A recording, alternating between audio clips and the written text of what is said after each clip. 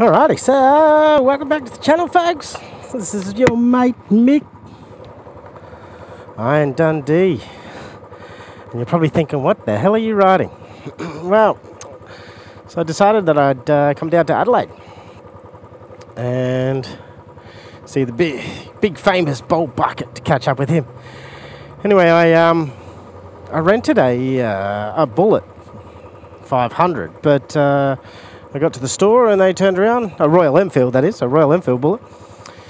Uh, 500 trials, and they got down to the store and they turned around to me and said, "We've um, sold them all, so basically we don't have one." So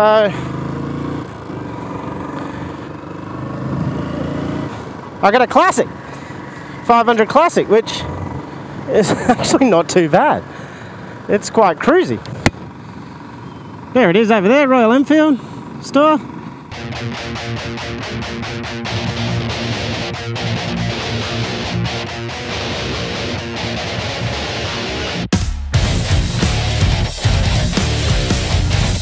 It's an interesting um, bike.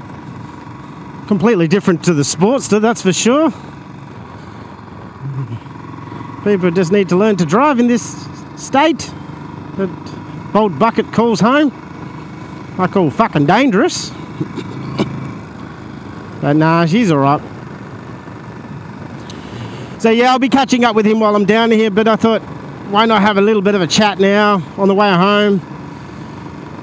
Just to sort of show you what I got because I did all my research on the Bullet Tri 500 and um, yeah, I've got a classic 500. Now this is brand new, mind you. This has got like seven kilometers on it. So I'm going to put it down to being uh, the 2021 or a 2022 model. So, but I am in Adelaide and I'm in my old haunting ground actually because I used to work just in this building right here. So I've got to remember that this indicators don't turn off. So my Sportster, obviously they do. This is interesting. I don't know. But we're going to have a lot of fun with this bike over the next few days. I won't thrash it because I'm not that type of person. But I'm going to give it a good red hot friggin' ride. And I'm going to put a few kilometers on this bike. So this is through um, a company called Eagle Rider, which is an Australian worldwide. Uh, I think it's actually worldwide. World wide? Yeah, worldwide. Oh, wow. You know when you say things and sometimes you just don't know if it sounds right. So yeah, worldwide company called Eagle Rider. I think everyone's heard of Eagle Rider.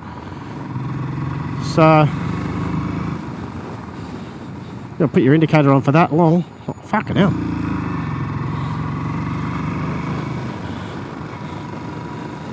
Anyway, yeah, so went online, booked it, relatively cheap for the four days that I've got it for.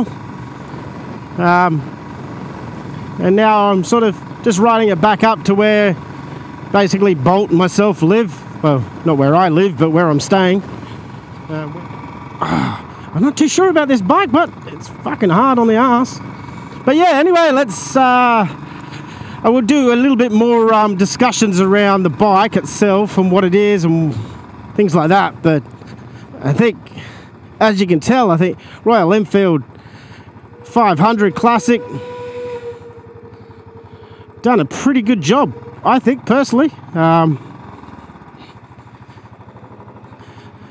sounds absolutely terrible. So the first thing that I notice on this bike is my sitting position. I'm actually quite high, which isn't that bad personally. I've always felt that if I'm higher up on the bike, especially when I used to have sports bikes, I wasn't getting buffeted as much in the wind. Um, I read an article once when I used to ride trail bikes, and they reckon that if the, it's so windy and it's hitting you in the chest and you haven't got this visor, put your elbows out. I don't know how true that is, but it worked for me, and you'd be surprised at how much the wind kind of doesn't buffet you as much. And I suppose it is like that trail bike ride, you know, that, uh, and this sort of grip style is very, very kind of trail bike style itself. And I will go over the bike a little bit more soon anyway, but the problem is I've only got the one camera on at the moment. So I'm sorry about that. I didn't bring the other one. I felt it might have been a little bit rude to uh, attach it in front of everyone. There was about five or six people there, so it was kind of like, okay, dude, you don't really need to be there. And my indicator is still on. Shit, man, I've got to learn to take this indicator off. Bad. All right, doesn't matter. We're going to get the indicator off. We're going to learn to take the indicator off, okay? Indicator must come off all times, every time. Stupid one side indicator. But it's red. It's like Royal Enfield red. I really do like the colour. It's like a really nice colour. And it matches the gloves. Oh, looks like I need a new pair of gloves. Hey, Kraken, when are you doing your next giveaway? I'm just kidding. no, seriously. Odin, if you watch, I need a new pair. I can't complain. I mean, I've only been on the bike for 10 minutes maybe, and I clicked it off that time. Yeah! Winner, winner! Chicken dinner! Um, suspension is very hard on it at the moment and I'm not a tall guy, but as you can see, I'm, I am flat foot with my four inch Johnny Reb heels on. It's got some get up and go. I don't know what the torque specs on it, but he did say it's got some good torque, and it, yeah, I'll give you a due. It's got some torque. We'll find out in you know about half hour when I get onto the motorway. This is going to be 60 all the way until I get onto the main motorway, and then I can open it up to 100 at least. Uh, 60 miles an hour because, you know, here in Australia that's the speed limit. But, I mean, it's not. I don't think this bike was built for speed at any stage. I think it was, it was definitely built for its looks. And I'm going to say that it's not so much the looks for me, it's the actual. The, the more I ride this, the comfier it is. The seat I know I complained about it when I first got on it because it was really hard, but I think give it give it a couple of hours and riding or a couple of days and you'll probably be all right. But I feel that I need to be wearing a suit and tie while I ride this. And be a gentleman while I ride this. I know the helmet really doesn't match the bike. In fact, my whole get up screams, I wish I had a Harley. but I'm riding a Royal Enfield. this dude's probably thinking, who are you talking to? I'm talking to my millions of fans, bro. uh, he just looked at me like, who the hell are you talking to? Old tacho, no digital stuff here. And I think that's what makes the bike as well. So it's that old school technology. But it's not really old school technology. Everyone still uses it.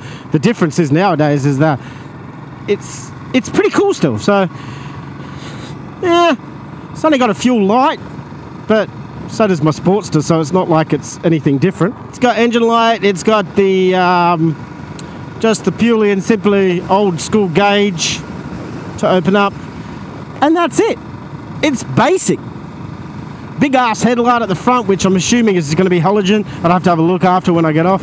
Some of these old retro round mirrors on the side here, which are really good because, you know, apart from me looking at my shoulder, on this side I don't have to, but on my left is I'm looking at my shoulder.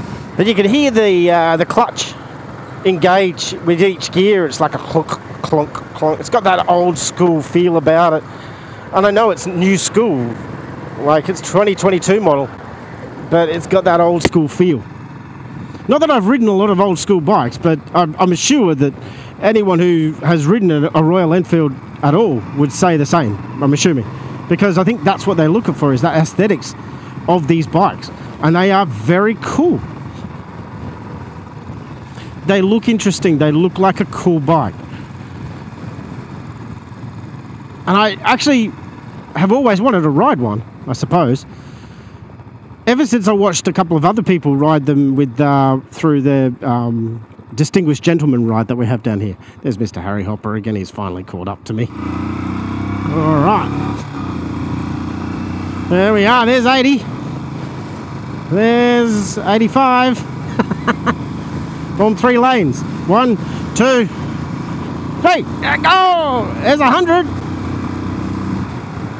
That's it. That's all the gears. Four gears. But I tell you, it's sitting on 100 and she's vibrating like a bitch. But surprisingly,